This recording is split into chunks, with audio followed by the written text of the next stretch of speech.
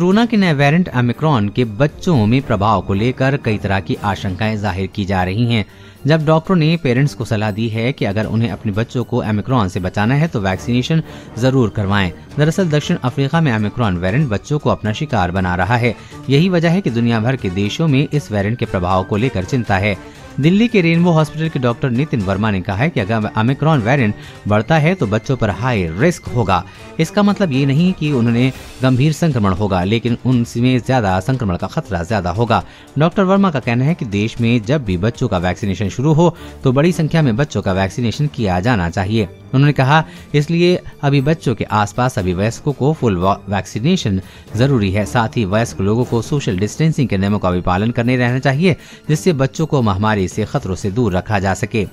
Hindustan times की एक report के मुताबिक दिल्ली के सरगंगाराम अस्पताल के डॉक्टर धीरेन गुप्ता भी नितिन वर्मा की बात से सहमत हैं। वो कहते हैं कि दक्षिण अफ्रीका से चिंताजनक रिपोर्ट आ रही है। पाँच साल से कम उम्र बच्चों के अस्पताल में भर्ती कराए जाने की संख्या बढ़ी है। केवल कोरोना वैक्सीनेशन और उपयुक्त व्यवहार ही महामारी को हमारे घरों में घुसने से रोक सकता है।